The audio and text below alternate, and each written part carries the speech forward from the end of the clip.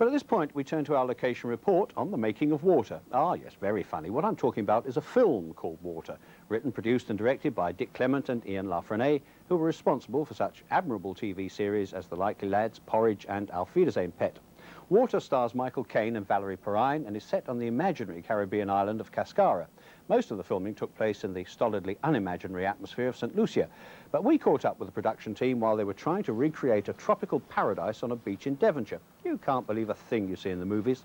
Still, what I wondered was, what brought Michael Caine into the fictional world of Cascara? I was looking for a comedy, and I'd done light comedy, romantic comedy, and I was looking for a crazy comedy and this is a crazy comedy. And while I was reading it, I had to stop about four times because I couldn't see the page for the tears in my eyes. So I thought, this must be funny. It's a great script, it's funny, and that unusual. I mean, I don't read that many great scripts. I don't think there are that many great scripts. And um, Michael. I wanted to work with Michael. 46, take two. And action! And then to defuse these charges. We don't want any accidents at this stage of the game. I wouldn't jump the gun, Baxter. Nobody's going to fight us now. Father will. He'll want to get even any way he can. Pamela, I sometimes wonder if you do what you do for humanity or simply to get back at Dad. Baxter, I have spent $10,000 on psychoanalysis. Now, it just couldn't be that simple. Could it? The first day I arrived here, we actually had fog, and it doesn't look like the Caribbean in fog at all, but uh, when the sun shines, it looks amazingly good, actually. A few palm trees, as long as you can't hear the creak of the uh, fiberglass, do wonders, and um, it looks extremely good. Well, we've got about 30 seconds before the sun, boys. Please stand by.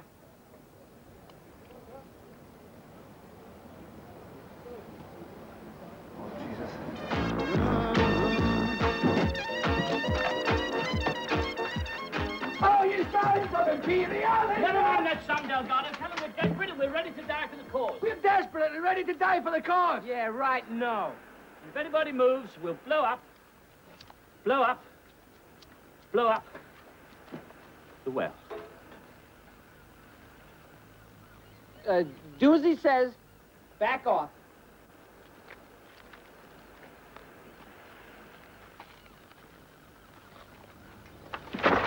I think to a great extent, one of the things you have to do is, is off camera. I think you have to create a climate of comedy. And uh, with the crew and with the cast, I mean, it's, it comes from picking the right people and then giving them the freedom to work a little bit together and encouraging them to, you know, to be funny without going too far. Uh, look, look at him. Good job just not your hair, Holly, I've never seen your face. Sorry. We're going to be there? yeah, let's do it there. Let's, that'd be good. I told you not to wear that. Yes, but, but it's fine. Now, just bring you around a bit. Anywhere you like, so it's same price. We improvise a lot. I think 75% of it should be there. And I think the actors should bring the other 25%, apart from timing or, or getting the other 75% right. But I think you should add 25% of what is already there to the movie. On this one, we've added about 40%. There's some light on the sea on the horizon.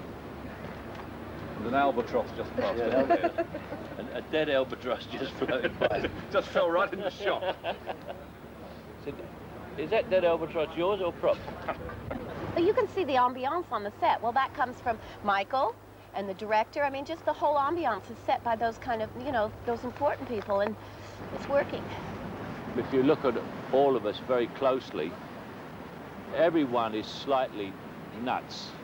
I mean, in real life, we're all kind of, they're all dinglings, which is uh, ideal for this film because everybody in the, every character in the movie is nuts. But it's one of the best films I've ever worked on for dinner in the evenings because you never stop laughing. I wouldn't say he was nuts, but he is putting up a few pounds overweight these days, isn't he, Al Michael? But do watch out for water, it's good fun.